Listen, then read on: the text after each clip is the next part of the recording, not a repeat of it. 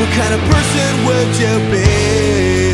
If less is what you see, then less is everything And if you look, what will you find? Would that make up your mind and make up